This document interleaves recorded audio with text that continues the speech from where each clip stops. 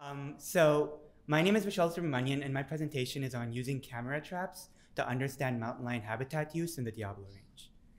So a little bit about me. Sean already did a great introduction. I'm an undergraduate in ecology and statistics at UC Berkeley. I'm a wildlife photographer, storyteller, and researcher, and I collaborate with environmental organizations like Save Mount Diablo for wildlife conservation issues in the Bay Area. Now, I wanted to start this presentation with this picture of a mountain lion crossing a stream not too far from Mount Hamilton. To me, this photo almost represents the Diablo Range in a way. It shows our apex predator of the region, the mountain lion, crossing one of the many perennial streams that zigzag all throughout the valleys of the Diablo Range in some pristine oak woodland habitat that's so characteristic of this amazing area. To me, it captures that sense of curiosity, wonder, and awe that we feel when we think about the Diablo Range. Now, my passion for the Diablo Range started in my early teens. Uh, that's when I picked up a camera for the first time and started taking pictures of wildlife. I spent pretty much every free second I had in the hills photographing animals like bobcats, owls, badgers. But one animal that always really fascinated me was mountain lions. And about midway through, through college, I decided I really wanted to capture a photograph and tell stories about Diablo Range mountain lions. But as I set up my DSLR camera traps, which are, which are these motion triggered DSLR cameras, I waited for months and months and I never captured any images. And it made me realize just how little I know about how mountain lions utilize habitat in this area. So it made me interested in researching this, not only so I could get photographs and tell stories about these animals, but also provide valuable data to land conservationists and scientists who are actively working to ensure a thriving mountain lion population in the Diablo Range. So this was around the time I saw the announcement for the Mary Bowerman Science and Research Program, and I applied for the grant to study exactly this. How do mountain lions utilize habitat in the Diablo Range? And the study site, site I chose was Blue Oak Ranch Reserve, just north of Mount Hamilton. This is a really pristine part of the Diablo Range. It's a UC Berkeley run natural reserve, and it's only open to scientists and for public, you know, education events and things like that. And it's really just a spectacular place, and it also has amazing connected habitat both north and south, making it an ideal habitat for mountain lions and to do research like this. So we've chose three primary habitat types found in the reserve, riparian or creek habitats, ridgetops, and grassland habitats. And we ended up setting 10 trail cameras across the reserve. So we can see the blue, the blue represents the riparian habitats, the red is grassland, and the three is and the green is ridgetop. And we started setting up cameras in late February of this year. And almost immediately, we started capturing some pretty interesting and valuable data. So this was a mountain lion at one of our grassland sites in the middle of the day. It was pretty remarkable to see him just out and about, such a healthy, robust individual. And we weren't just looking at mountain lions, but we were also looking at all the other species in this mammal species in this ecosystem and how they were also utilizing these landscapes. So that includes mesopredators like bobcats, um, other mesopredators like coyotes. And one thing we were also looking at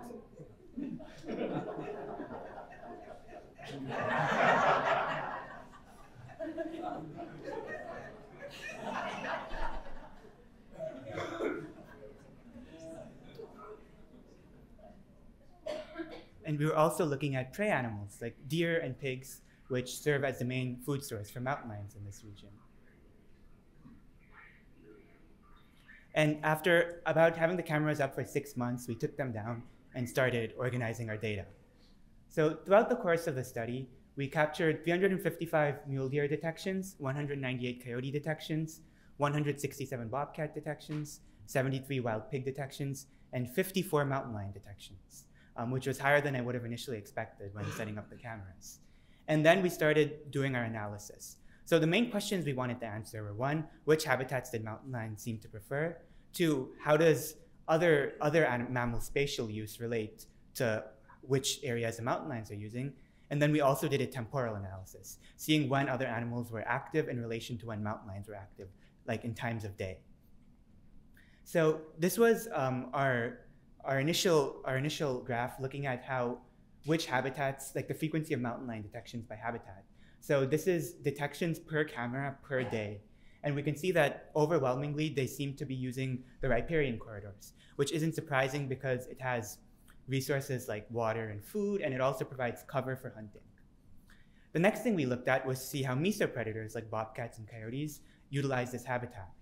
So we saw that coyotes and bobcats pretty much showed an opposite trend, favoring the grassland habitats and utilizing riparian habitats the least, which makes sense because mountain lions are known to frequently predate on coyotes and sometimes on bobcats. So it shows um, spatial avoidance between, between the mesopredator and the apex predator, which is the mountain lion. We also looked at the habitat use of prey items like deer and pigs, and we found that this more closely related to where we found mountain lions, which makes sense as they were, you know, they'd be in areas where their prey is found. The next thing we did was a temporal analysis, looking at what times of day these animals were active in relation to each other. So over here you have the red curve showing the mountain lion, blue coyote, the yellow is bobcat, and the green is gray fox. And the x-axis shows like from pretty much the start of the day to the end of it.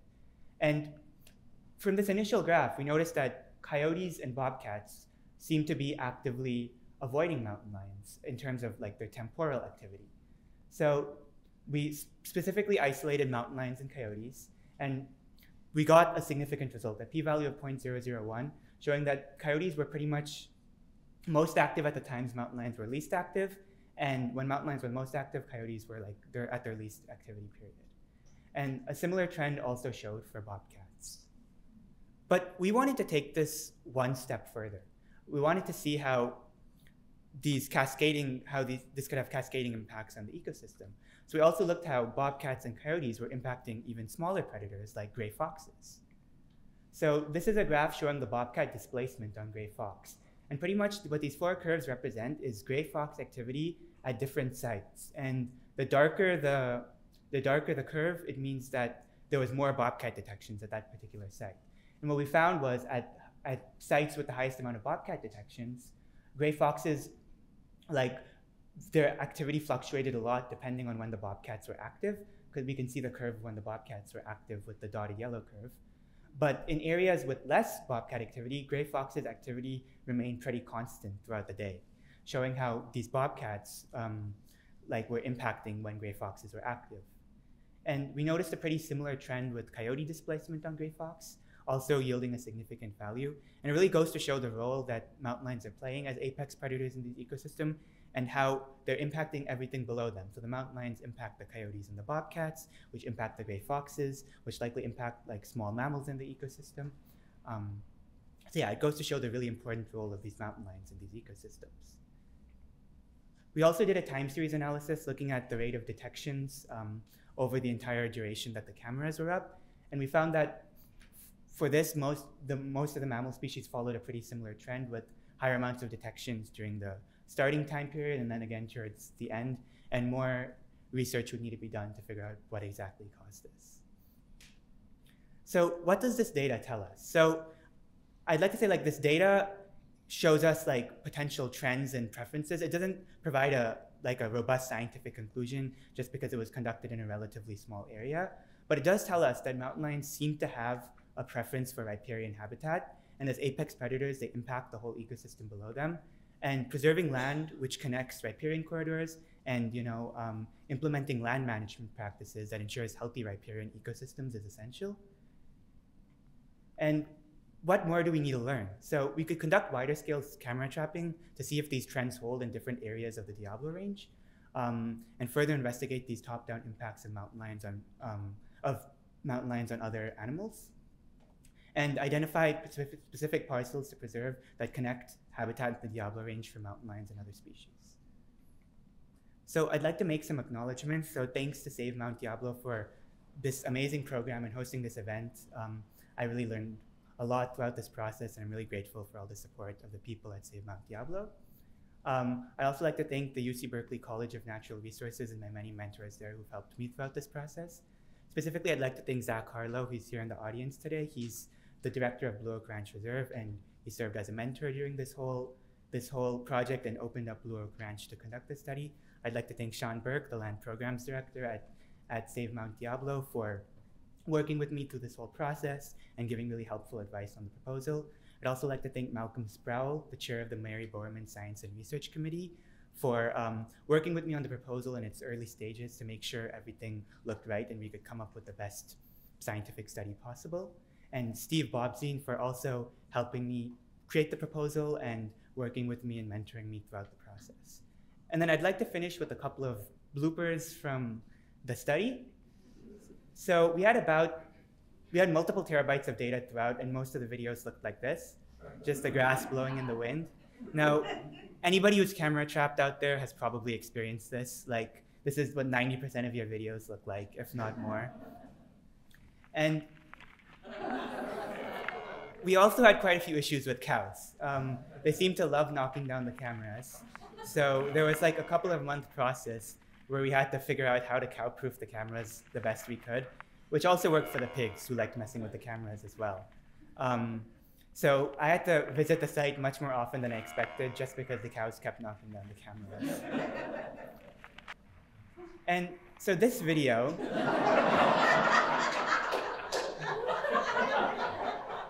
So if you're wondering what's in the creek there, that's my camera. so I set up my DSLR camera trap along this creek to capture an image of a mountain lion crossing the stream.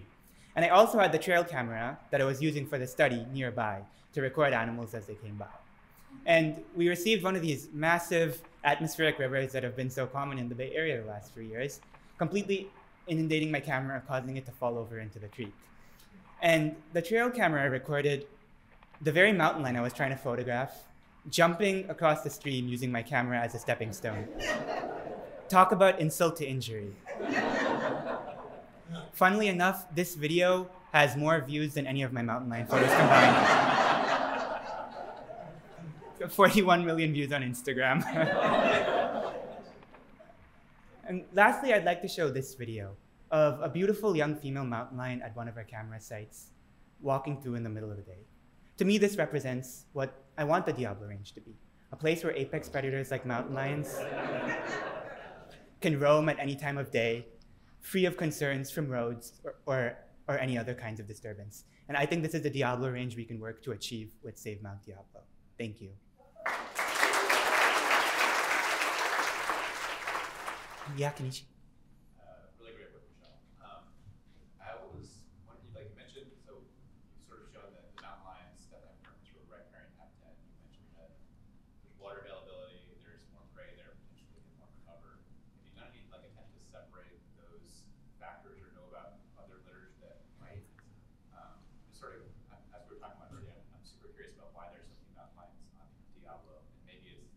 Yeah, Kenichi.